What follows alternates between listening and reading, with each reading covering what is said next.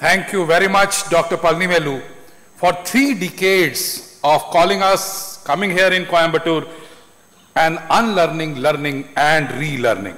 If hernia, if recurrence is a hernia surgeon's sin, inguinodynia is a punishment. And I am going to speak on both the aspects of inguinodynia, that is the chronic pelvic pain, or inguinodynia or the groin pain post herniorrhaphy technique. Now it is seen that if it goes beyond, pain goes beyond three months, after the repair, then only it is called as inguinodynia. And can you imagine, the incidence is of the order of 10 to 12 percent of patients suffer. That means so many hernias are being done and 3% of the people will have debilitating, severely debilitating problem. This can be because of one, the nerve pain, and two, because the tissue pain. And now pain is neuropathic if somebody has included the nerve in the suture in open technique, for example, or in the tags.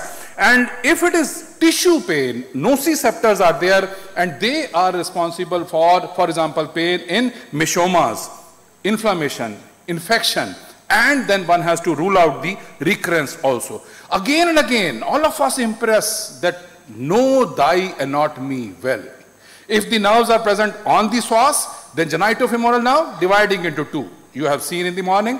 If the nerves are present on the iliacus muscle, then lateral femoral cutaneous nerve of thigh. Again, one should not think that any and every surgery will have the pain. Only thing is because these nerves are having so much of variation of ilioinguinal type, hernia type or the ilioinguinal, ilio genitofemoral. So one should be cautious about that.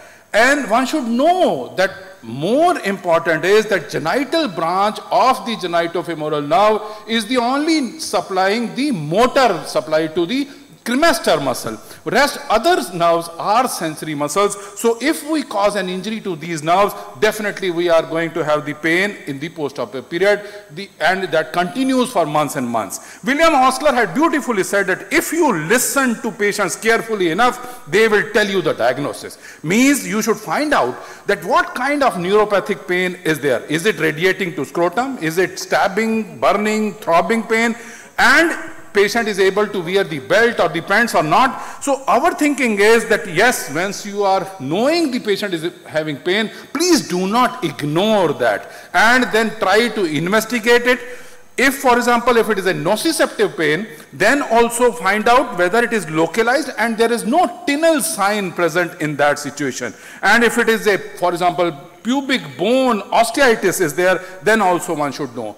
And for the diagnosing the inguinodynia, you have to do the dermatomal mapping and in, you can see the distribution of the various nerves and again, if the patient continues to have pain for some time, give a injection, local injection at the specific nerve site and then find out whether it is responsible for this nerve or is it because of the all the three nerves which are involved. And one has to go in for dynamic ultrasound, CT scan, MRI and nerve studies again and again for example, this is a patient in which the hernia had been done and the patient continued to have pain and you can see in this situation also the CT scan, the mesh is seen inside the fluid and it is pressing onto the bladder and this is called as meshoma. We went in, find out that the mesh was all crumpled up and then one has to do the mesh explantation and then only one will be able to solve the problems.